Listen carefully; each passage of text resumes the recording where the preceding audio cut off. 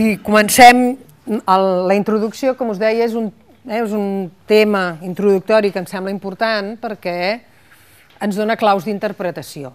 Eh? I és més important que ens quedin clares les claus d'interpretació que no pas la manera com es resol un tema concret. Mm?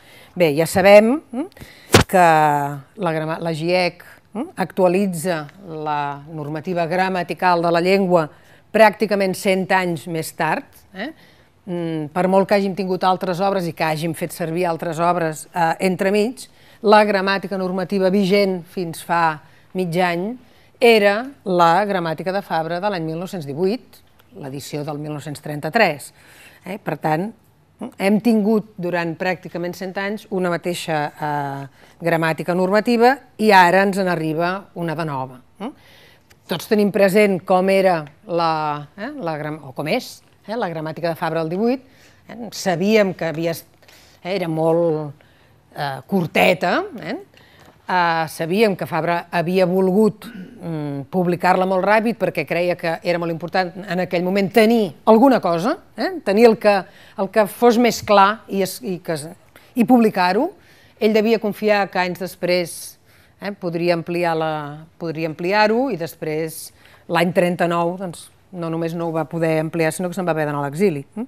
Per tant, ell no es devia imaginar l'any 1918 que aquella gramàtica duraria 100 anys. Eh? Eh, el cas és que veníem d'una gramàtica que ha fet molta feina i ha contribuït molt, moltíssim. No ens podem imaginar, si no mirem molt bé la història de, eh, moderna i contemporània de la llengua, com era eh, el, el poc ús públic eh, que es feia de la llengua al segle XIX, començament del segle XX. Per tant, sabem que la feina de codificació va ser molt important, però també sabem que ara ens feien falta altres obres que no fossin la gramàtica de Fabra. Eh? Una de les coses que veurem que fa la nova gramàtica normativa és endreçar i donar estatus normatiu a criteris que de fet ja aplicàvem ara, eh? perquè els havien dit altres obres, perquè els deia Badia Margarito, perquè ho havia dit Joan Solà, o perquè ho deia la gramàtica del català contemporani, perquè sortia el manual d'estil, el que fos. Eh? Llavors, hm, una de les coses que, eh?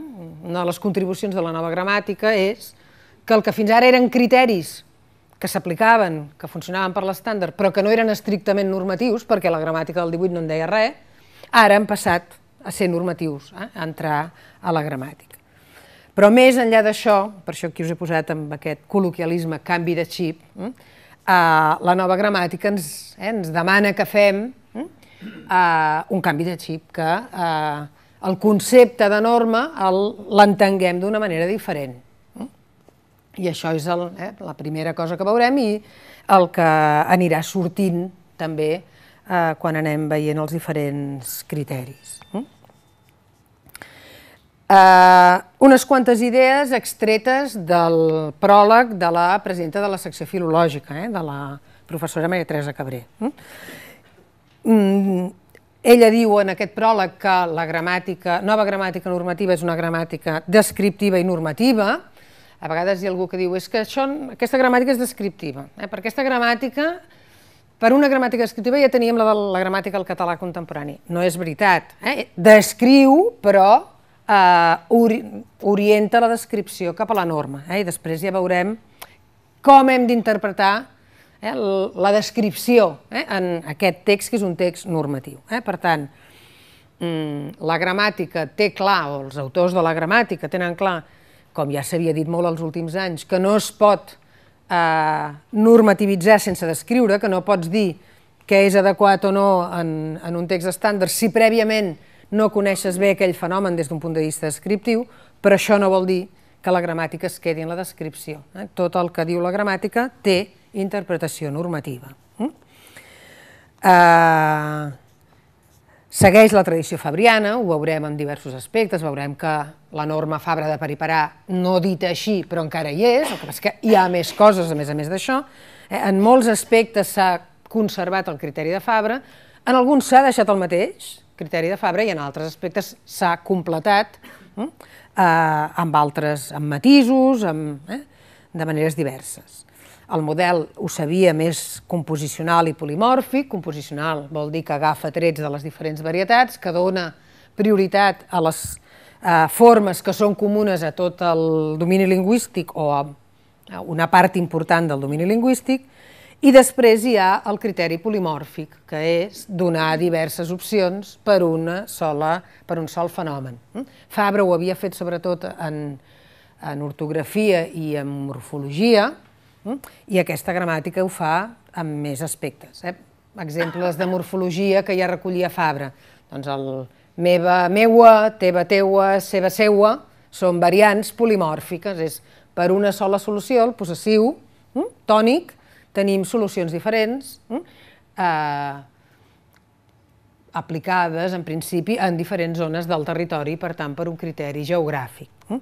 La gramàtica continua, nova, eh, la GIEC, eh, continua aplicant aquest criteri polimòrfic, però l'estén, primera, no només a la morfologia, sinó també a la sintaxi, hi ha aspectes de la sintaxi que són polimòrfics, que, on hi ha més d'una solució, i després eh, l'estén no només a la, varia, a la variació geogràfica, sinó també a la variació funcional, és a dir, als registres. I per tant, quan parlem de criteris polimòrfics ens referim no només a en valencià es diu de tal manera i en català central d'una altra, hm? sinó en un registre formal es diu d'una altra, o es pot dir d'una manera i en un registre informal es pot dir d'una altra. Hm? Això també és polimorfisme, eh? també és solucions diferents per un mateix fenomen. I aquí és on hi ha, eh? tant en la sintaxi com en la variació funcional, és on hi ha el, les novetats més importants de la gramàtica. Eh? Tenim molta més sintaxi que no pas la gramàtica anterior, i hi ha eh, variació mm, funcional, criteris sobre variació funcional. Ara ho dic una mica de memòria, però em sembla que de les 1.400 pàgines que té la gramàtica, 800 són de sintaxi. Eh? Per tant, el pes de les diferents parts eh, no és el mateix.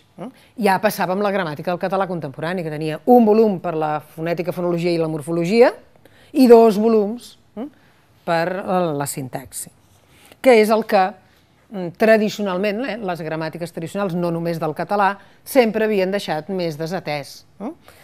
Eh, a vegades es diu que el segle XX va ser el segle de la, en la lingüística, va ser el segle de la sintaxi i el segle de la pragmàtica, perquè es va incorporar el coneixement de, les, eh, de la sintaxi, de l'estructura de la llengua, i es va incorporar eh, l'ús, eh, tenir en compte l'ús. Eh? Totes dues coses les trobem reflectides en la nova gramàtica normativa.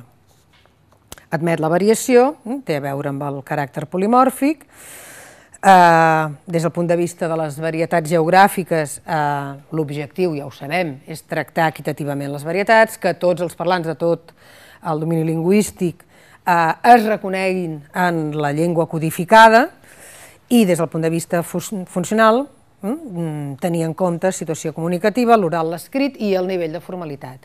Jo us he posat ja veureu en els papers que us aniré repartint, el que hi ha entre claudatros és, són comentaris meus que jo que afegeixo, eh?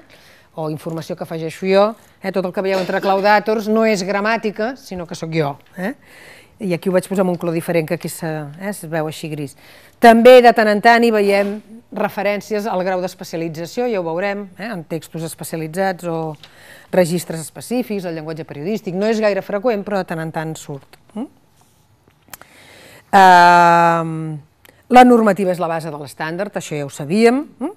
permet la comunicació inter... In... encara estem comentant el, eh, el pròleg de, de la Maria Teresa Cabré, eh? permet la comunicació inter...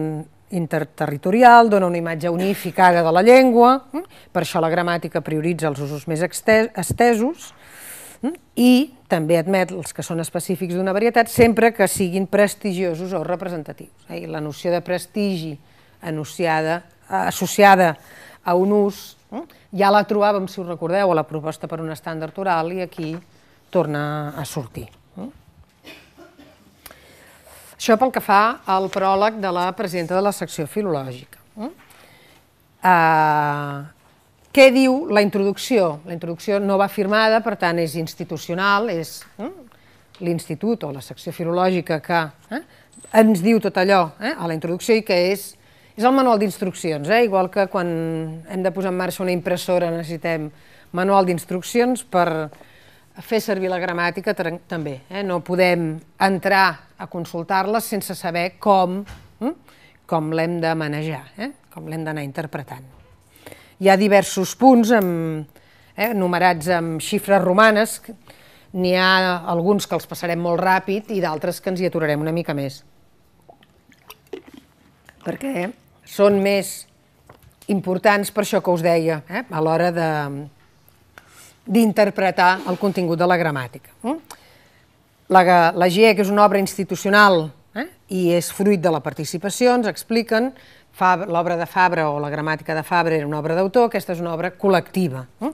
Fruit de la participació vol dir que no només hi han participat la Comissió de Gramàtica de la secció filològica i el ple de la secció filològica, sinó també experts externs, als quals se'ls han demanat informes, se'ls han passat capítols perquè els revisessin, etc. Um,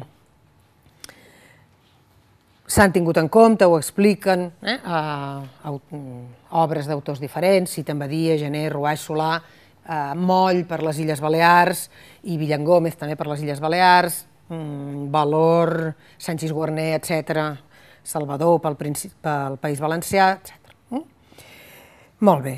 Uh, es torna a dir que és una gramàtica descriptiva i normativa. Uh, uh, recorden eh, que la gramàtica de Fabra del 18 era normativa i era fruit de la descripció que el mateix Fabra havia fet a la gramàtica del 1912, eh, que aquella gramàtica eh, hi havia relativament poc, el que us deia, morfologia, referència a les variants dialectals i poca sintaxi. Mm? Això no era cap problema en aquell moment, era el que es podia fer llavors. Eh? Ara tenim més coneixement de la llengua, podem fer més coses.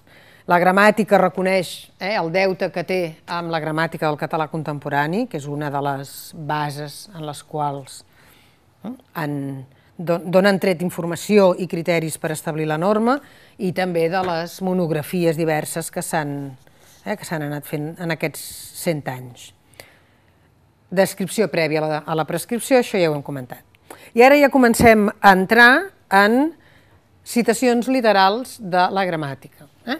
Uh, hi ha eh, la majoria d'aspectes que anirem veient i que anirem comentant, més que explicar-vos-els jo, anirem veient com els explica la gramàtica, perquè és el que ens interessa, no que jo us faci una paràfrasi del que diu, sinó com ho diu i per què ho diu com ho diu i com hem d'interpretar Eh?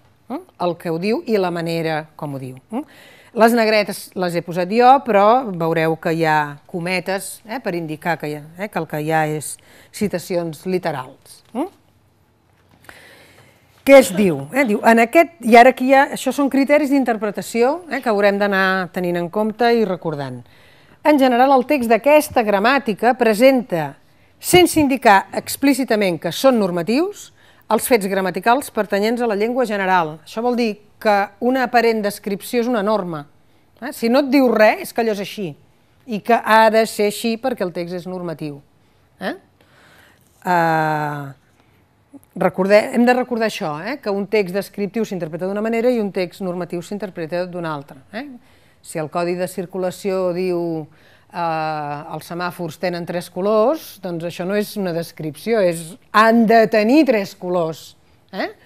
Eh, o per les ciutats no es pot anar més de 50 per hora, això no és o no es va més eh, a més de 50 per hora, això no és una descripció de fets, és eh, una prescripció. Llavors, hm, quan la gramàtica aparentment descriu fenòmens, hm, la gran majoria de les vegades, eh, i a més ja ho anirem comentant, eh, és més habitual. I llavors dius, home, potser no és més habitual, perquè per l'ús que, eh, pel que sabem de la llengua veiem que no és més habitual, però la gramàtica quan diu és més habitual és volem que sigui més habitual.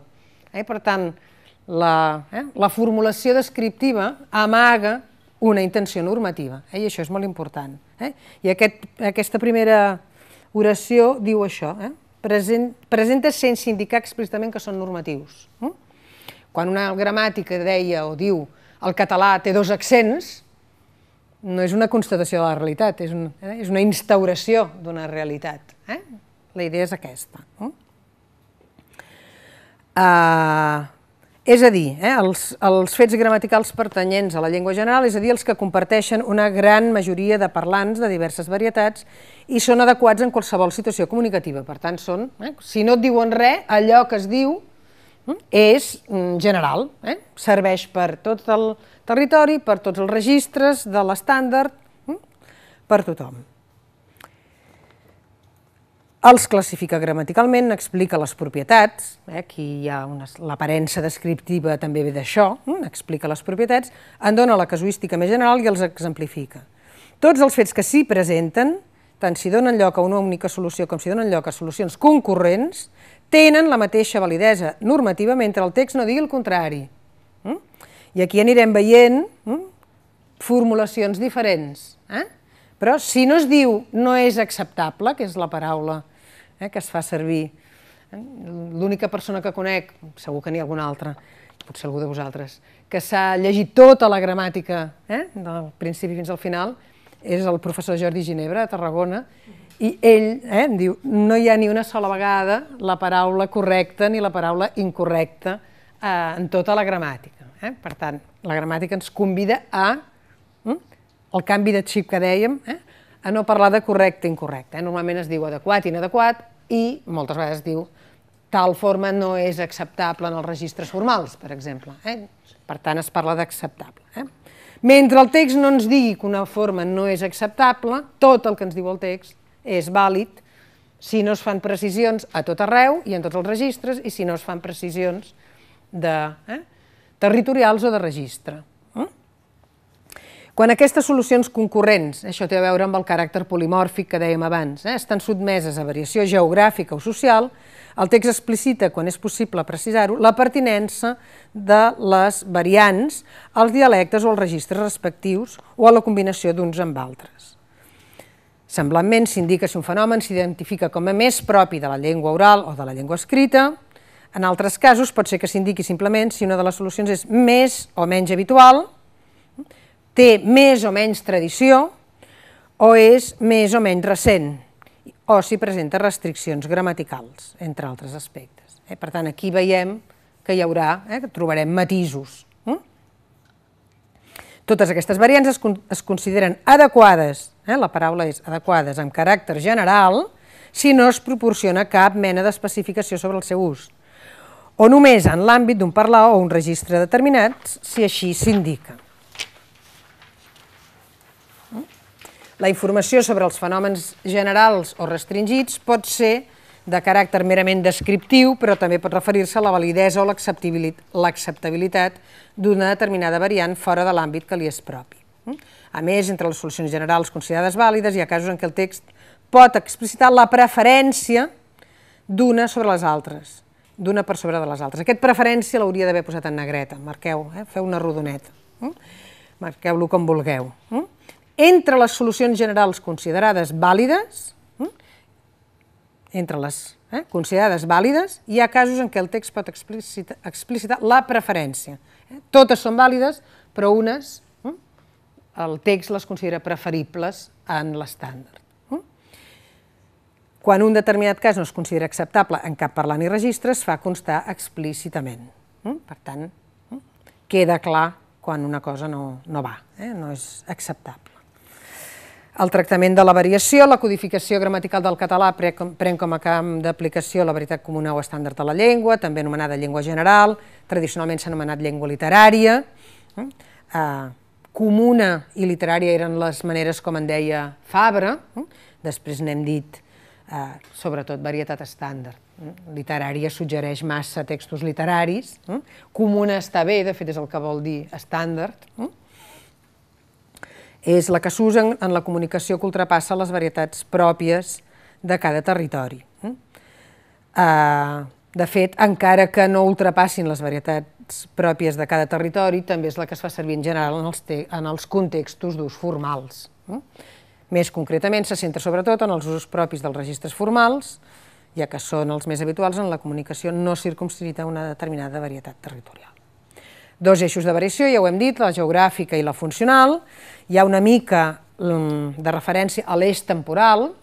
Mm? La llengua antiga feia tal cosa, actualment passa tal altra cosa, per exemple, amb els verbs ser i estar, eh, es fa moltes referències d'aquest tipus, i alguna vegada, sempre els toca el rebre, es fa alguna referència, no a la gent gran, sinó als joves, que són els que, eh, eh, bé, són els que eh? fan explícita més l'evolució eh? més immediata o més recent de la llengua. Mm? En l'organització de la variació en aquests tres eixos hi predomina el criteri d'adequació. Eh? Hi ha diverses opcions viables en català, però poden ser més o menys adequades o fins i tot clarament inadequades segons el caràcter i la situació de la comunicació. Mm? Les formes més restringides territorialment poden ser poc adequades en comunicació en temes general, les de caràcter informal poc o gens adequades en comunicacions formals i les arcaiques o molt recents, els dos extrems, eh, poden ser igualment poc o gens adequades en la llengua més corrent. Mm? La gramàtica fa referència a la influència d'altres llengües sempre que resulta, per, i ho diu així, eh, sempre que resulta pertinent, la gramàtica pot indicar que es tracta d'opcions que no són acceptables o recomanables, o que s'eviten en qualsevol de les varietats de la llengua. Sobre la variació geogràfica, eh? Variació geogràfica, diatòpica o geolactal serien més o menys sinònims, les opcions tenen un caràcter més general o més restringit territorialment. Els trets més consolidats i prestigiosos de les varietats geogràfiques habitualment es consideren vàlids dins la llengua general formal, eh? la idea de prestigi que ja dèiem abans. Eh? Eh, sobretot si són compartits per diverses àrees dialectals. Això, si ho recordeu, a la proposta per un estàndard oral ja hi havia aquella idea, aquesta idea. Allà es deia dos o més grans dialectes. Eh? Ara aquí no es diu dos o més grans dialectes, però la idea eh, en general és la mateixa. Eh? Per contra, els de menys extensió territorial, sobretot si pertanyen a registres informals o col·loquials, solen ser considerats menys adequats o gens adequats per la varietat comuna. Uh, en aquesta gramàtica a vegades es descriuen les variants dels diferents parlars sense qualificar-les des del punt de vista funcional com a formals o col·loquials i també sense indicar si són adequades o inadequades en els registres formals. En aquest cas, implícitament, cal entendre que són opcions vàlides en registres formals. Si no et diuen res, és que és vàlid. Hm? Si bé en les comunicacions de més abast i de caràcter formal és lògic utilitzar les opcions que tenen una difusió més general entre les que es consideren igualment vàlides. Aquest és el criteri general de l'estandardització, eh? donar prioritat a les formes més compartides entre les diferents varietats. Una precisió que va bé que tinguem en compte per no enfadar-nos en algun moment. Eh? El fet que a l'hora de tractar una determinada solució no s'esmentin totes les varietats en què es dona, no qüestiona necessàriament la validesa que té en les que la tenen com a pròpia i no es mencionen en aquesta gramàtica. Eh? Aquí et venen a dir, la gramàtica no és un tractat de dialectologia, eh? potser parlem d'un fenomen, diem, es diuen aquestes varietats, i algú pot dir, en el meu poble també es diu, i aquí no ho heu dit. Eh? També, és, eh? també hi és inclòs el teu poble encara que no surti explícitament. Eh? Aquesta és la idea. Eh? Eh, es curen amb salut perquè, eh? perquè ningú s'enfadi si no hi surt la referència eh? al seu poble o a la, a la seva àrea. Eh? Molt bé. A dalt de tota la pàgina 7 tenim eh, el quadre de la gramàtica on surten les varietats geogràfiques a què es fa referència dintre la gramàtica. Eh? Sobretot es fa referència al bloc oriental i al bloc occidental i sobretot es fa referència als grans dialectes. Eh? De tant en tant hi ha alguna referència al, als subdialectes, eh? però poques vegades. Eh? Fixeu-vos, el garès septentrional, dintre del central, el gironí, el barceloní i el tarragoní s'hi fa alguna referència, però molt poques. Eh? Dintre del baleàric, menorquí, mallorquí, eivissenc i formenteré, en el nord-occidental, Pallarès, Ribagorçà i Lleidatà, i el tortosí a cavall entre el nord-occidental i el valencià, com li correspon, i finalment valencià septentrional, central i, i meridional. Pel que fa a la variació de registre, eh, si teniu preguntes o comentaris, aixequeu la mà, eh? que jo, jo vaig eh, dient, en algun moment ja, ja us demanaré que parleu més, però podeu aixecar la mà quan vulgueu i comentar el que vulgueu, que jo vaig, jo vaig eh, fent via. Variació de registres. Sobretot, la gramàtica fa referència als graus de formalitat. A vegades fa referència als registres especialitzats, ja ho hem dit abans, i als canals, i a la locució més espontània o més acurada, que al meu entendre és un dels aspectes que més s'han de tenir en compte hm? a l'hora de valorar les, eh, les formes dels registres informals. Eh, espontaneïtat va vinculat a informalitat, eh, moltes vegades. Hm? La gramàtica defineix la formalitat com el tipus de relació que el discurs estableix entre els interlocutors o més precisament entre els rols socials que assumeixen els interlocutors en l'acte comunicatiu. Mm?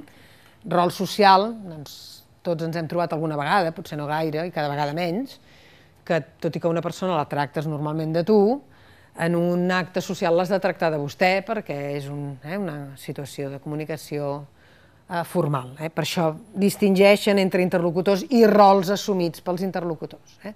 En una situació determinada pot ser que hàgim d'assumir un rol eh, que ens porti a canviar eh?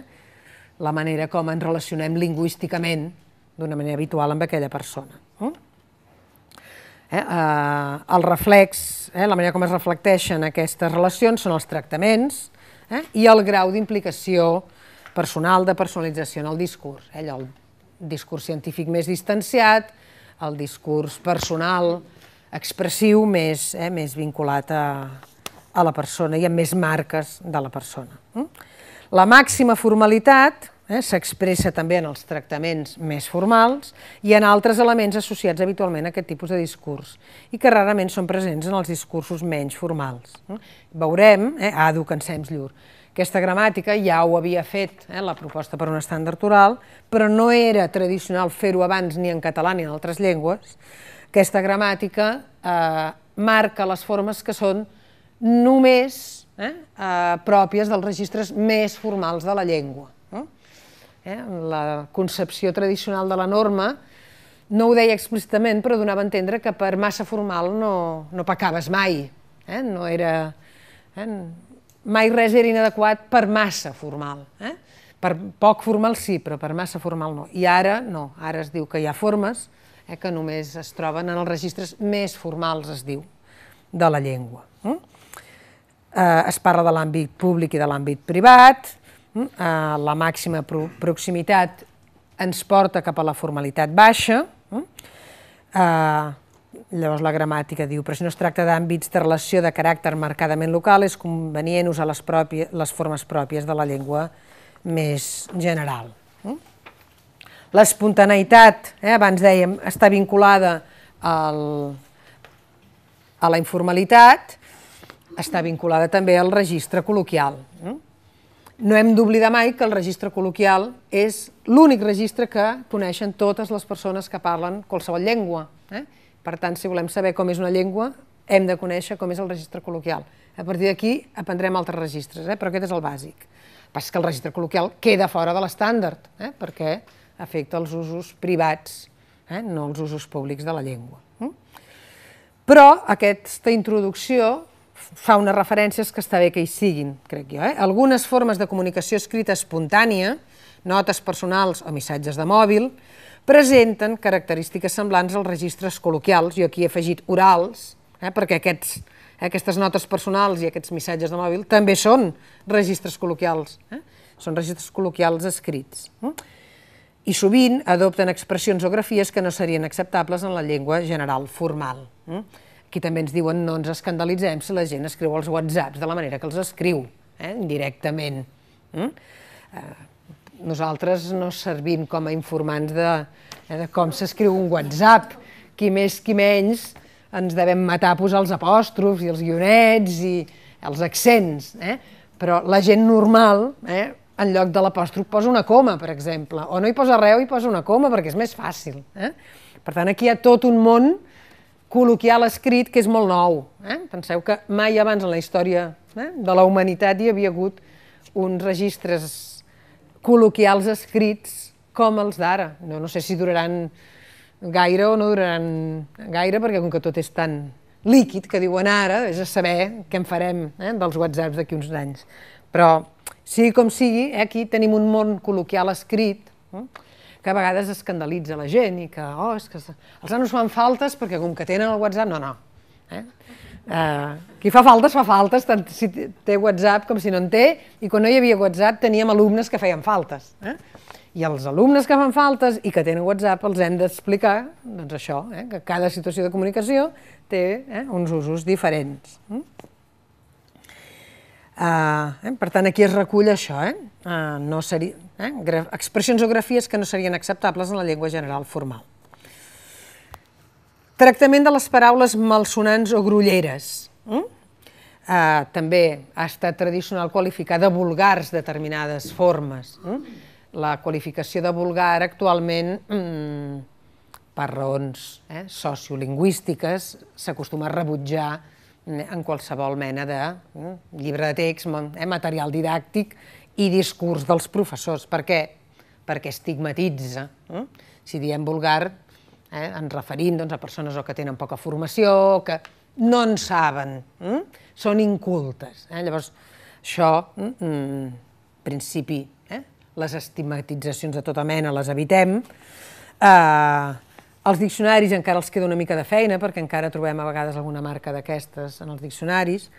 El que fa la gramàtica és eh, fer indicacions de registre, informal. Mm? És cert que és informal mm? i les altres consideracions no cal, eh? no cal que hi fem referència. Eh?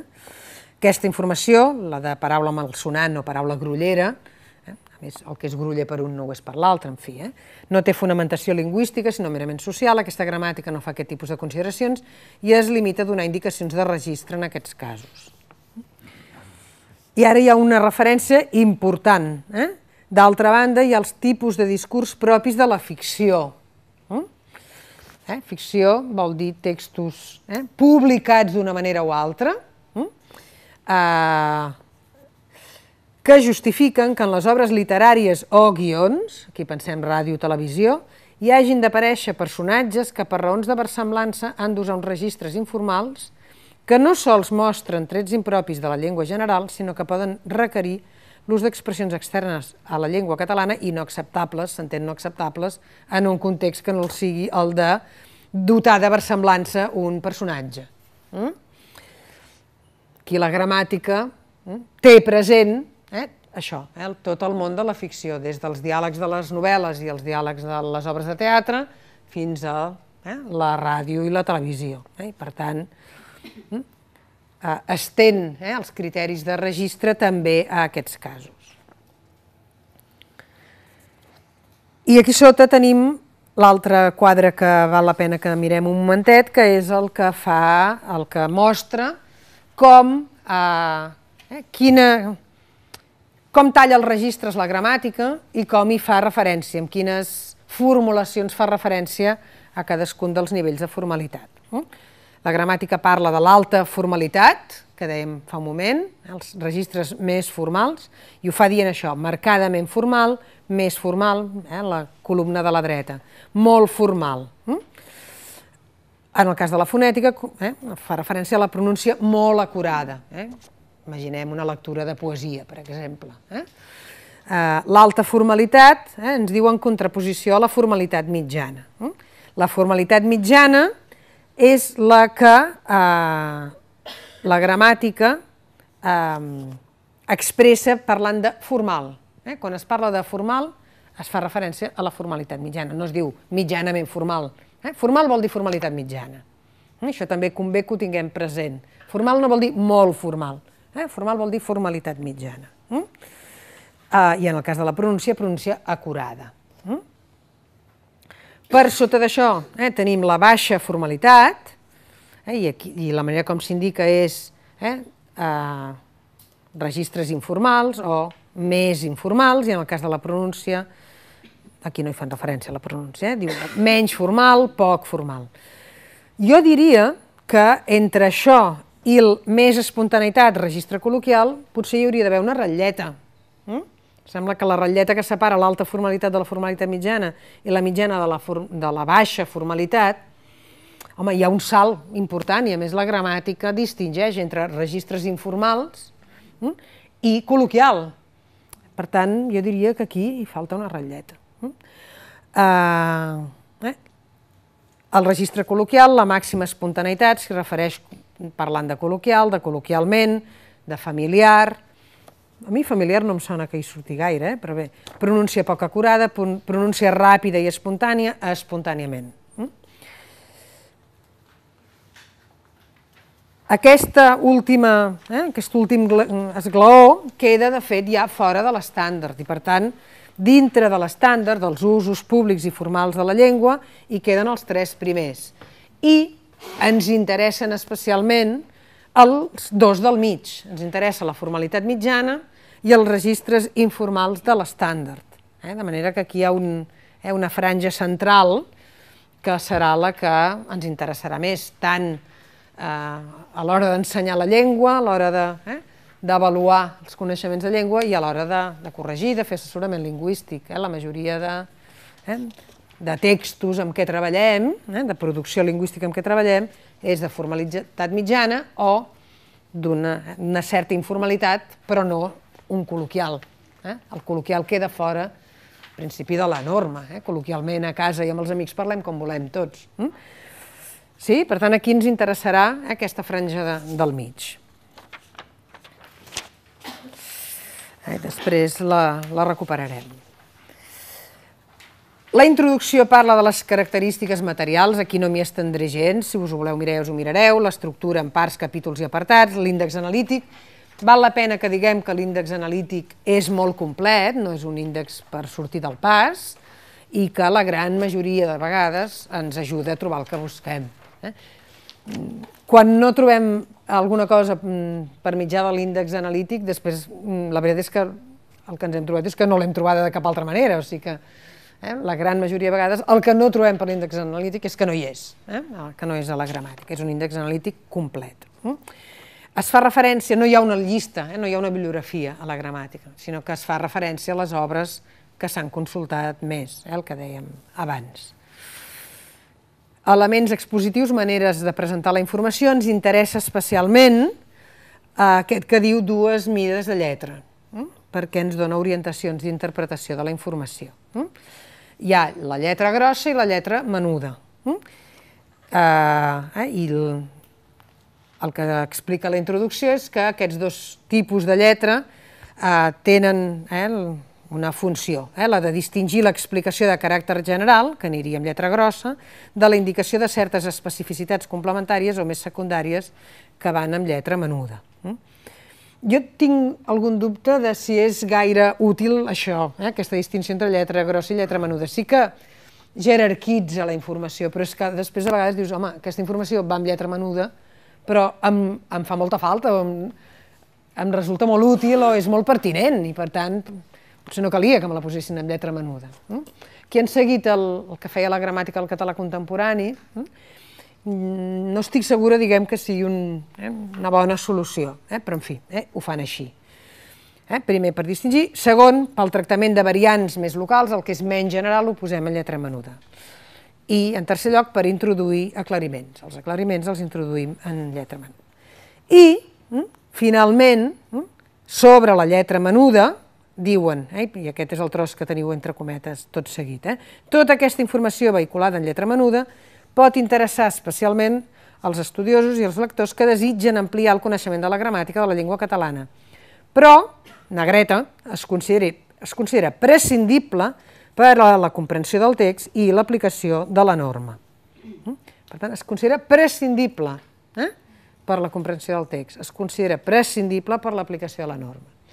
Recordem-ho perquè en algun moment ens hi farem referència a això, eh? alguna de les coses que ens diuen en lletra menuda. Es parla de la terminologia lingüística, dels sistemes de notació, etc. Mm? Es parla de l'equip de treball. No diuen res perquè ells ells mateixos no s'ho poden dir, o potser no seria bonic fer-ho, però jo hi he afegit aquí l'estil de redacció. Mm? Els que estem acostumats a llegir textos de la secció filològica sabem quin era l'estil habitual. Eh? La mateixa proposta per un estàndard oral que hem anat comentant Eh, la introducció està escrita en un estil determinat, molt estil secció filològica, eh? i no en el millor sentit eh? de la paraula. Eh? Llenguatge barroc, eh? a vegades eufemístic, eh? de fer les coses més complicades del que caldria. Eh? Aquesta gramàtica és tot el contrari. Eh?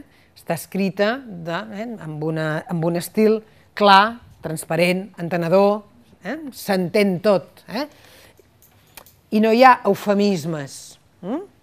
El no és recomanable de la proposta per un estàndard oral, que deia, home, a la, a la morfologia van haver d'aclarir que quan deien no és recomanable volien dir que era incorrecte. Doncs home, doncs digues que és incorrecte, no diguis que, és, que no és recomanable, perquè si no direm, mira, no és recomanable, no és el mateix no és recomanable que incorrecte. No?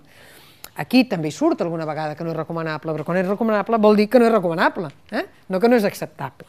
Eh? Per tant, l'estil de redacció és molt clar, tota la part tipogràfica està molt al servei eh? dels lectors, de, eh? de, de facilitar la, la comprensió, la lectura, etc. I penso eh? que igual que ens referim eh? a altres estils no tan... Eh? que ens agradaven menys, doncs aquí s'ha de eh? valorar molt positivament aquest, eh, l'estil de redacció de la gramàtica. Preguntes, comentaris sobre el que hem anat sortint fins ara? Pàgina, que si no... Pàgines, a dalt de tot. Cas en què el text pot explicitar que hi ha una forma que té preferència sobre l'altra, Uh -huh. això en un examen com es valora? Ah, ara, ara ja... Dos, si en un C2 un alumne no utilitza la, la solució que té preferència, es penalitza o no es penalitza? Jo crec que no. Eh? Jo, això sortirà perquè surt, en molts dels fenòmens hi surt allò, és preferible, uh, però justament és, és un dels casos eh, que jo que volia comentar i fer-hi referència molt explícitament. Eh? Si la I és preferible a L apòstrof H-I, vol dir que L apòstrof H-I també és normatiu mm? i també és adequat en el registre formal. I, per tant, en un C2 també s'ha d'acceptar, s'ha de demanar coherència? En els aspectes ortogràfics i formals. Eh? En sintaxi jo penso que ja en parlarem, però penso que no s'ha de demanar coherència en sintaxi. En periparà sí, però amb les altres coses no. Eh? Uh, La forma preferent seria exigible en un nivell, en l'antic nivell K, per exemple, però no en el no, C2. és que el nivell K tampoc avaluava ús de la llengua. El, la preferent, diguem, només jo penso eh, que seria mm, l'única adequada en els registres més formals de la llengua, en aquella franja de dalt de tot que dèiem. És clar, si fas servir car, llur, om, àduc, i després fas L apòstrof aquí en lloc de la I, sembla que no, no acaba de quadrar. No? O sigui, els textos en principi han de ser eh, coherents, no? homogenis, o els fragments de text, si tens eh, una obra amb gent que parla de maneres diferents, eh? han de ser coherents en l'estil que adopten i, per tant, també en el nivell de formalitat de les formes que adopten. Per tant, en l'únic cas en què seria exigible la forma preferible seria, jo crec, en els registres més formals. Eh? Però en, les, en la formalitat mitjana i en l'estàndard mitjà, eh? tan adequades són les unes com les altres. El que fa la, la gramàtica és dir-te quina vol potenciar l'institut o la secció filològica. No? Continuen preferint la hi donaré que li donaré. Però a diferència del que havia fet Fabra, li donaré també la considera adequada en l'estàndard. Eh? Aquest és el pas que hem fet en aquest cas. Per tant, totes dues són adequades en l'estàndard. I, de fet, el que han fet en aquest exemple concret és reconèixer el que ja passava. O sigui, ja hi havia eh, molts, eh, hi havia editorials, autors literaris, mitjans de comunicació que feien li donaré en lloc de la hi donaré. Podrien haver mantingut que això no és normatiu i no ho haurien deixat de fer en aquests àmbits i per tant hi hauria hagut una distància entre normativa i estàndard que fent això, que és donem preferència a la hi donaré, però també acceptem li donaré, el que fas és evitar la distància entre norma i estàndard, orientant en un sentit, però també acceptant les altres formes. Ho trobarem bastant sovint, eh, això, que s'accepten diverses formes. Jo penso que és això, la manera de, eh, d'aconseguir el consens dintre de la secció filològica i també la manera de veure cap a on s'orienta l'ús. No? És, la hi donaré, mm, té possibilitats de... Ara ens estem avançant una mica, però és igual. Eh? Després passarem més ràpid quan arribem, arribem a la hi donaré. El problema que tenim no és si, si els nostres alumnes, escriptors, persones que escriuen textos que corregin, escriuen la hi donaré o l'apòstrof h i donaré. És que ens escriuen li. Eh? O sigui, el problema és que no escriguin li. I si ens hi aturem, és, sembla mera ortografia, però té la seva dificultat. Eh? No és tan fàcil ni tan automàtic. Li, la primera cosa que se t'acut és escriure LI, que és un pronom, eh? i fer el pas cap a veure que n'hi ha dos demana una certa anàlisi, eh? i per tant no és estrany. I la batalla és aquesta. Després escriguin l'apòstrof aquí, o la hi donaré, no sé si ja és, eh? ja és el segon nivell, diguem.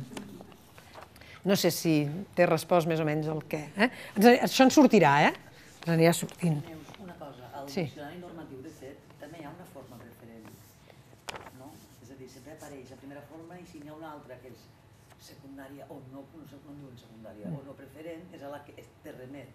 És a dir, a la primera en remet a l'altra. Sí, però no sempre, jo crec, s'ha d'interpretar, i jo diria que les instruccions no ho diu, que la primera sigui preferent respecte a la segona.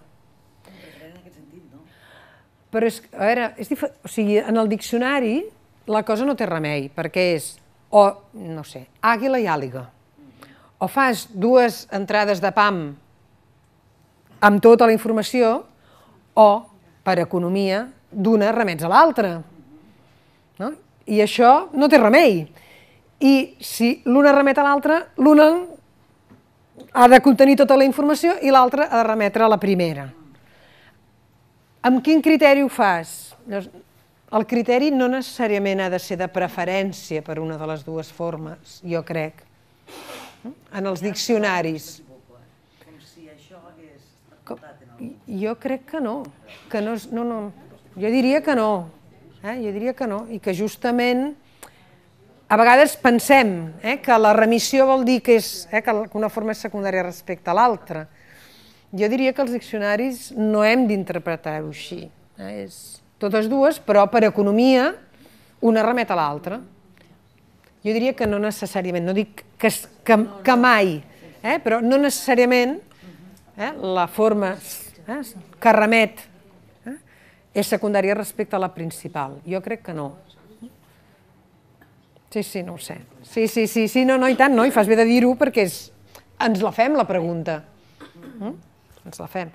Amb l'àliga i l'àliga em sembla que la van capgirar justament, que primer era àliga i àli, àguila remetia àguila, a àliga, i em sembla que ara és al revés, em sembla, eh? Sí, sí, no ho sé, no ho sé. No sé. Bé, deixem-ho, eh? Jo crec que no necessàriament, eh? Aquesta seria la resposta. Què més? Hem d'anar controlant l'hora. Aquí devem tenir l'hora també o no? Sí. Sí, sí, ens queda una estoneta. Cap allà tres quarts, si us sembla, parem eh? i fem 20 minuts de descans. Ens queden això. Molt bé. Uh, aquí s'acabava eh, la, la informació de la introducció, eh, les instruccions d'ús que dèiem. Eh?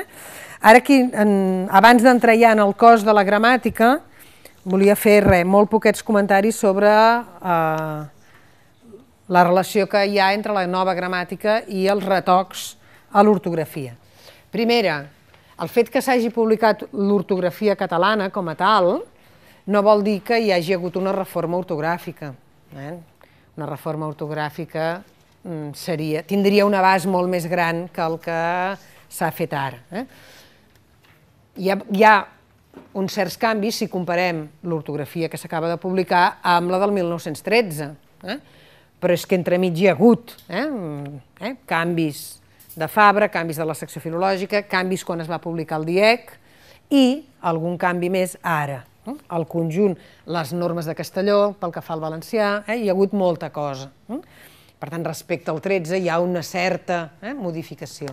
Però de, del que fèiem fins ara, el que s'ha aprovat a la nova ortografia, el nombre de canvis eh, no justifica que parlem de reforma ortogràfica. Ho dic també per, per no fer les coses més grosses, no? com que ja sabem què va passar a la tardor al Twitter, eh? amb els diacrítics i tot allò, dius, home, eh? eren uns retocs, eh? però no, eh? allò no era una reforma ortogràfica. Eh? Per tant, eh? s'han fet uns quants retocs. Per què es van fer ara? Mm, la, eh? la secció filològica es va donar que volia fer algun retoc i que no tenia gaire sentit publicar la nova gramàtica cent anys més tard amb una ortografia eh, que no fos la nova ja. Eh, que el, publicar la gramàtica nova i al cap d'un any eh, suprimir els diacrítics tret de 15 més els plurals, eh, era una mica absurd, era fer eh, eh, eh, que, la, que la gramàtica quedés obsoleta eh, molt abans d'hora. Eh, llavors què van fer? Eh, accelerar eh, paral·lelament al, a la fase final d'elaboració de la gramàtica, eh, decidir què feien amb l'ortografia i llavors aplicar aquests canvis de l'ortografia a la nova gramàtica, de manera que la gramàtica ja sortís amb aquests canvis. El canvi gros és el dels diacrítics, és evident, és el que es veu. Eh? La resta són retocs que, eh, que es veuen relativament poc. Jo aquí us he posat només el, el dels diacrítics en principi, eh, no planteja problemes, la llista és la que és, eh, hi ha les, la duplicació d'R que, que afecta relativament poques paraules, eh? amb la S no, no s'ha fet res, i llavors hi ha la qüestió del guionet, eh, que és una mica la cançó de l'enfadós, eh? cada vegada que, que toquem el guionet eh, eh, no ens n'acabem de sortir del tot bé. Eh? Eh? Uh, per diverses raons. Eh? El motiu pel qual jo vaig posar, eh, o el motiu, o l'aspecte que, que a mi em va semblar que podia provocar més vacil·lació, era el de l'adverbi no. Hm? I aquí us posava una mica com s'explica a l'ortografia això. Eh? Es diu que no porta guionet quan hi ha un alt grau de lexicalització eh? entre no i l'element que hi va al darrere. Eh? Podem saber que hi ha lexicalització quan el significat del conjunt no es dedueix simplement per la negació del concepte expressat eh, pel substantiu o l'adjectiu. Eh? Són casos conceptualment ben fixats i corresponen a termes propis d'un àmbit d'especialitat. I aquí ens donen una pista. Fins al seu 1, mm, deixem-los tranquils, eh? deixem-los tranquils, propis d'àmbit d'especialitat. Eh? Per tant, mm, quan fem assessorament i corregim textos especialitzats, ens ho haurem de mirar amb una mica més de, eh? de deteniment. Eh? Però en la llengua general, a mi em sembla que no ens hem de eh, esverar gaire amb, eh, amb el guionet del no. El caràcter lexicalitzat d'aquestes expressions evita sovint l'aparició de complements. És una altra manera d'intentar reconèixer aquests usos. Si no, eh, un pacte de no agressió, no podem, eh, no podem dir un pacte de no agressió a la veïna. Mm? Eh, és un concepte, pacte de no agressió. Mm? La no violència és un concepte, no és la no violència contra una persona o un, eh, un grup determinat. Eh? Els no violents en general. Eh? La prosa de no ficció és un concepte general, els no creients en general no d'una creença concreta. En canvi, diuen, altres expressions no han assolit aquest grau de lexicalització, en aquests casos no manté el seu valor d'adverbi, el significat de l'expressió és el contrari del que tindria sense no, i sovint porten complements. I aquí posen exemples. La no confessionalitat de l'Estat, complement, eh? la no convertibilitat del dòlar de l'euro, porta complement, la no compareixença a una convocatòria, aquí no entrem si incompareixença i no, i no compareixença és el mateix, jo no hi entro perquè eh, de, en l'àmbit jurídic no, no hi entenc, eh, el, perquè en el llenguatge general diries, home, no cal dir no compareixença, eh, podem dir incompareixença, eh, però no sé si en l'àmbit jurídic hi ha algun matís. Eh? Els no residents, la comunicació no verbal. Notem el matís, diu eh, l'ortografia, parla de matís, per tant, de coses una mica subtils, eh? per tant, que van més enllà del que podem demanar eh, als nostres alumnes. Eh? Gandhi era radicalment no violent, això era una ideologia, eh? un pres no violent, això no és una ideologia, és un pres que no, eh? que no té comportaments violents. Eh? Per tant, si es parla de matís, tenim una distinció subtil i, per tant, un cert grau de vacil·lació és inevitable, jo crec. Eh? Eh, en l'àmbit de l'assessorament en una mateixa àrea, potser sí que val la pena tenir la llista de, eh, de fenòmens que resolem d'una manera o d'una altra, ja com a llibre d'estil, és per fer-ho, eh, per homogeneitzar els usos en aquell àmbit, eh, més eh, que perquè no hi pugui haver eh, diverses solucions. Eh? La distinció més estricta s'ha de fer en els textos especialitzats. L'altre aspecte eh, dels canvis ortogràfics que va passar una mica desapercebut va ser el de l'apostrofació de l'article davant del, del prefix privatiu, eh? La normalitat, eh? la gramaticalitat, la simetria, etc. Eh? Eh, a les llistes que va difondre l'Institut eh, no hi sortia aquest cas com a novetat, eh? però a la gramàtica hi surt. Tampoc, ja és normal que la gramàtica no ho presenti, perdó, que l'ortografia no ho presenti com a novetat, perquè l'ortografia és com autosuficient, no? I el que et posa és exemples de la normalitat o la gramaticalitat apostrofat entremig dels casos de la regla general. Eh? I ho veus així. Mm? Ara sí que era una novetat respecte a, eh, a l'ortografia anterior i a la normativa anterior. És un cas una mica estrany, eh, perquè s'havia difós per l'Optimot els, no sé si un any o un any i mig, no sé quant temps feia que l'Optimot ja ho recollia, que també era una manera una mica curiosa de difondre, de difondre una, normatat, una novetat ortogràfica. Sí, perquè a l'Optimot hi vas si tens dubtes, però tots nosaltres no teníem cap dubte que la gramaticalitat no s'apostrofava, per tant no se'ns hauria acudit anar a l'Optimot per comprovar hm, que la... No sé, eh, aquí hi ha una cosa una mica així estranya, una manera una mica curiosa de difondre aquesta novetat. El cas és que hm, jo ho vaig saber perquè m'ho van preguntar, eh, una companya d'allà de la facultat, una professora em va dir m'han corregit això, ha canviat la norma? I li vaig dir, home, que jo sàpiga no, però deixa-m'ho mirar, i llavors ho vaig mirar a l'Optimot i m'ho vaig trobar, i vaig pensar, ui, quina cosa més estranya, no? Bé, va, va anar així d'una manera una mica. Eh? Sí, com sigui, és novetat, eh? i no surt a la llista de novetats, però, eh? per la raó que sigui, però és novetat.